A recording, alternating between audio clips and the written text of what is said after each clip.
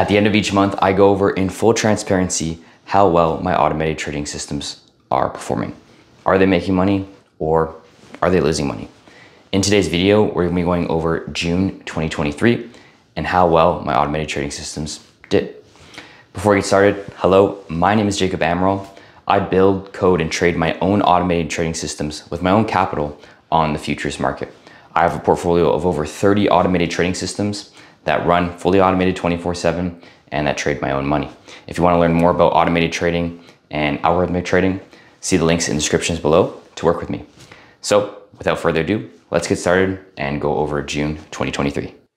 All right, so for the month of June, let's go over the results. Another profitable month for me, so I'm very happy.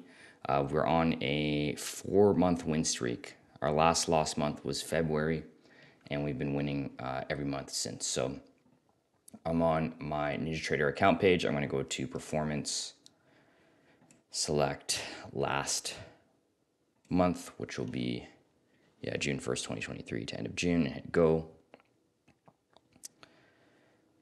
And for the month, we made a total P&L after commissions and slippage of $52,000, 937 and 92 cents. Uh, this is US dollars on a percentage basis, that's about a probably about a 9% return for the month. So very, very good. And uh, let's go over some of the stats. So we had 385 total trades, total of 2,238 futures contracts.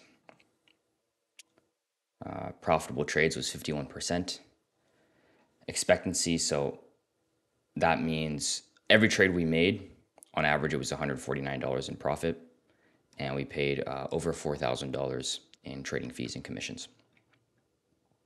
Here's some of the charts of how we did.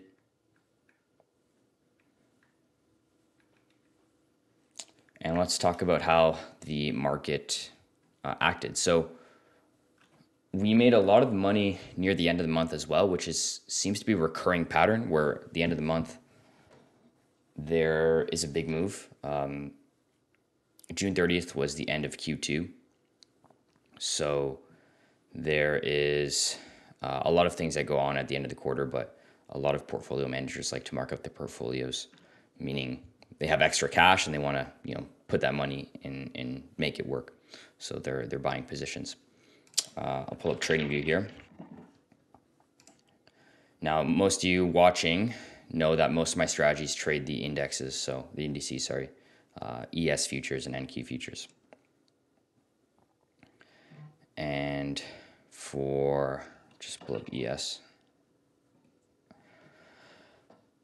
For June, it's a daily right here.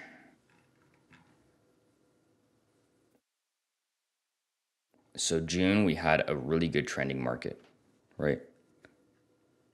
An upward trend, a lot of days where we had big point moves, you know, on ES 50, 60 point moves. Those days, my strategies do really well. Okay. A lot of my strategies are trend following. So if there is a trend, they do very, very well. So if we look at 1st of June, you know, this is June 1st, this is June 30th, big upward trend. It could be a downward trend and we could still make money, but a big upward trend, lots of volatility, we'll make money on those on on those types of months, you know. Days like this where there's high wicks, like up wicks. Uh, this like is a bad day, 28th, where there's no real movement for that day. We lose a lot of money. A lot of our strategies get get stopped out.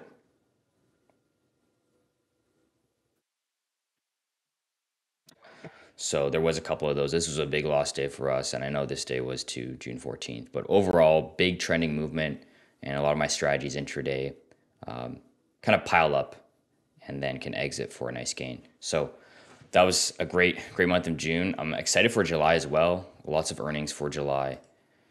And uh, hopefully, you know, we'll see some more volatility and continue that win streak, continue to a five month win streak, which would be insane.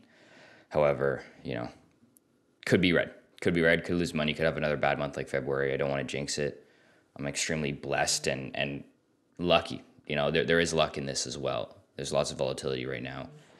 And you know, I'm gonna I'm gonna milk it for whatever it's worth, right? I'm gonna take it if I can, take the losses. Um, as far as my portfolio, I think I took out this month, I think I took out three strategies that were underperforming. They all hit their max drawdown. So any strategy that hits their max drawdown, I take out my portfolio. So I took out three and I added two, um, two strategies that we developed. And if you guys didn't know, um, I do have a live strategy building session within my course where every two weeks we build strategies together. And two of those strategies I added to the portfolio, and they did pretty pretty well this this um, this month. So yeah, that's the that's the month for June. Fifty two thousand nine hundred thirty seven ninety two cents, about a nine percent gain for me. And yeah, great month. I'll take it. And we'll move on to the next month for July.